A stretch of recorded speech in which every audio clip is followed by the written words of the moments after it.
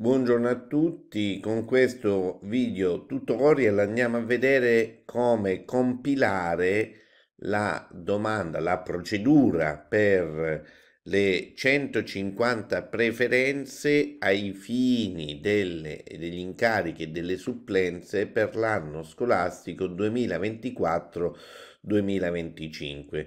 Scelta importantissima, ricordiamo, per poter partecipare eh, ad aspirare a un posto oh, di eh, scadenza contrattuale 31 agosto 2025 o scadenza contrattuale 30 giugno 2025 cioè per gli incarichi e le supplenze da GAE e GPS dunque vale solo per coloro che sono inseriti nella nelle GAE e nelle GPS per il biennio 24-26. Andiamo, entriamo sul sito del Ministero dell'Istruzione e del Merito, andiamo in alto a destra nel, all'accesso del, della zona riservata, facciamo accesso, andiamo area riservata e ci eh, facciamo il login per entrare con lo SPID una volta entrati con lo speed e, e dunque entrati in quest'area riservata, andiamo a istanze online, eh, alle istanze online e vediamo in alto l'informatizzazione per le nomine e le supplenze, che è il servizio che ci riguarda eh, per questa procedura. Dunque accediamo direttamente da qui, facciamo clic ed entriamo nell'elenco delle domande. Ora, ogni aspirante troverà la provincia in cui è inserito, troverà di, le gradatorie per cui è inserito, nel caso specifico la 041, la 040, la 060, la 047, la 037 e, e il sostegno per le medie e per le superiori. Eh, e poi per poter andare proprio nella pagina per la compilazione della procedura, andando al dettaglio delle gradatorie, dunque vai al dettaglio, si entra nella pagina eh, dove si può fare la domanda. Nella pagina dove si può fare la domanda vengono ripetute la provincia di inserimento in gradatoria eh, che può essere o GAE o GPS, anche se qui nello specifico ciò non viene eh, espresso, il, le gradatorie, eh, il, il, tempo di eh, apertura della compilazione e di chiusura della compilazione che è molto importante. Vediamo che il 26-07-2024 dalle ore 9 è possibile compilare l'istanza che verrà chiusa il 7 agosto 2024 alle 14.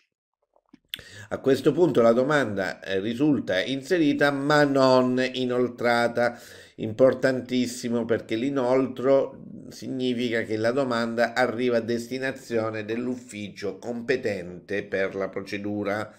Andiamo che è l'ufficio scolastico, in questo caso della provincia di Reggio Calabria. Vediamo gli step da compilare o già precompilati. Sono tutti quelli eh, colorati in azzurro o in celestino e li vediamo nella fattispecie. Eh, sono il numero 1, il numero 2, il numero 5, il numero 7 e il numero 8. Quelli in grigio nella fattispecie non sono compilabili, cioè sono da compilare esclusivamente da parte di quegli aspiranti che sono inclusi nella prima fascia sostegno. O eh, anche il numero 4 è da compilare solamente per la prima fascia del sostegno e il numero 6 eh, solo per chi ha titoli di riserva da inserire. Vediamo il caso specifico. Ecco, quando passiamo da un, uno step all'altro noteremo che le, il colore cambia, diventa blu scuro, vedete da celestino diventa blu scuro e viene inserito. Andiamo alla, allo step numero 1. Lo step numero 1 è lo step dei dati personali che è di fondamentale importanza perché è precompilato ma deve essere compilato correttamente. Ci sono i dati anagrafici, come vediamo, i dati del recapito, dati di fondamentale importanza perché la domanda venga, diciamo, inoltrata eh, con i dati anagrafici corretti, dati anagrafici e dati di recapito. Il numero 2 è, è, è, lo step degli insegnamenti, altro eh, molto importante, altra procedura importante per verificare con i pallini verdi che vedete lo stato del, eh, delle graduatorie, cioè se avete verde significa eh, che eh, mh, avete la condizione positiva dell'inserimento nella fascia di riferimento. In questo caso sono tutte GPS, ecco vedete che sono GPS fascia 2. Nel caso fosse una GAE verrebbe scritto GAE e la, e la fascia delle GAE di riferimento. Eh, abbiamo le graduatorie di inclusione eh, che sono queste e le graduatorie incrociate dunque sono graduatorie eh, incrociate di sostegno per la media e per le eh, superiori.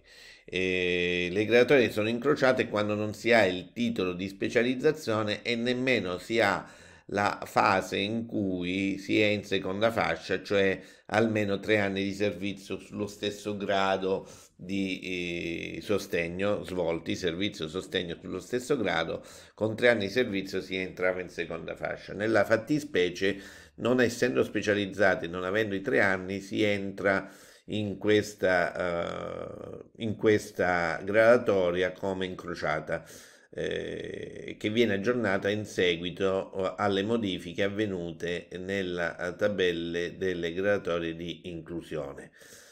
Poi pro, si può proseguire andando avanti per lo step, andiamo alla uh, step numero uh, 5 per vedere come eh, inserire le, eh, le mm, preferenze ai fini della supplenza.